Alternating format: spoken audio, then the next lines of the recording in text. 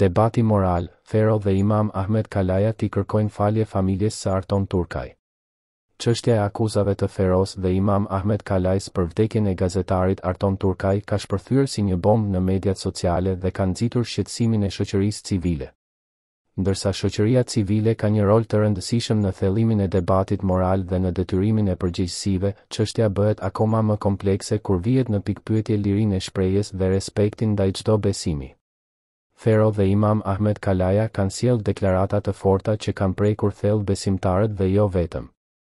Në vend që të adresojnë mosmarrëveshjet e tyre me Arton Turkajn në mënyrë paqësore dhe intelektuale, ata kanë përdorur gjuhë të rënda dhe akuzat që shkojnë përtej sferës së debateve të shëndosha. Ndërhyrja e shoqërisë civile do të ishte e nevojshme për të shpërfaqur vlerat e drejtësisë dhe respektit ndaj të tjerëve.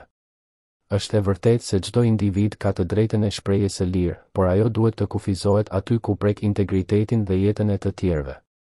Duke sjellë në pah çështjen e vdekjes së gazetarit, Fero dhe Imam Ahmed Kalaja janë futur në një fushatë të rrezikshme për krenarinë dhe besimin e tyre. Shoqëria civile duhet të ketë një rol të qartë për të kujtuar individët për rëndësinë e respektit dhe bashkëjetesës së paqësore në një shoqëri të ndryshme fetare. Këto akuzime të rreme dhe deklaratat e ashpra jo vetëm që i kanë vrarë familjes së Arton Turkaj, por kanë shkaktuar një shqetësim më të thellë për të ardhmen e dialogut ndërfetar dhe tolerancës. Pasi me këto deklarata e vetima gjë që këta dy individë kanë dashur të thonë që Zoti i tyre Allahu, është dakord sipas këtyre me vdekjen e fëmijëve në Palestinë, me vrasjen e fëmijëve në Kongo, me gjenocidin e myslimanëve në Kinë dhe shumë e shumë luftrave të tjera që po ndodhin në botë. Pra çfarë kuptojmë nga këto deklarime të një të ashtuquajturi besimtar si Fero që me lekë të pista në sy të Allahut akoma bën një jetë lluksi me to, dhe sipas një palo imami, Allahu është dakord me çdo gjë të keqe që ndodh në botë, por jo, jo me shakat të një gazetari i cili bëri satire e asgjë më shumë. Është e turpshme që keta të fundit nuk janë ndëshkuar nga shoqëria civile pasi asgjë çfarë kanë komentuar e thenë nuk është e vërtetë por një keqdashje që u lind nga zemra. si njerëzit të vegjël e smirush që janë. Kërkojni falje publike familjes së Arton Turkaj e gjithë besimtarëve muslimanë me deklarat tuaja të pahijshme.